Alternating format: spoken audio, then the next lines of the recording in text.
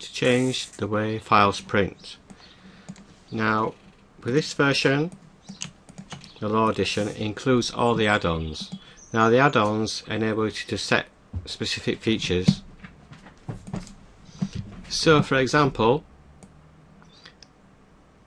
so you got a TIFF file here. If you right mouse on it, add-on setup, you can see you've got specific features just for printing that TIFF file. Um, these are preset on install, but say you can stretch the full page instead, save and exit, and then when you print, it will use those add-on parameters. If you scroll across, you can see the add-on parameters there that it's using for that file.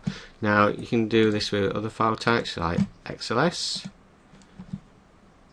so you can say print to fit or force portrait for example, um, and also email files, PST files. There's lots of options for those, and message files as well.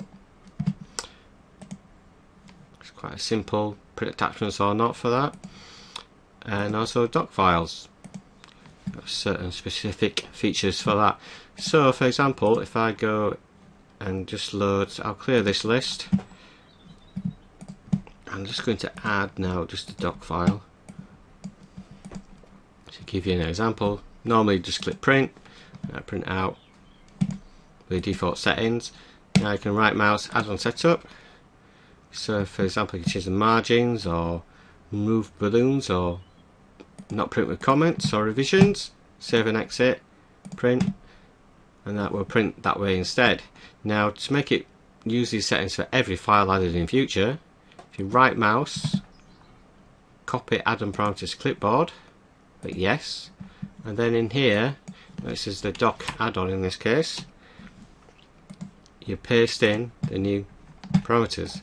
So now you add a new file from scratch.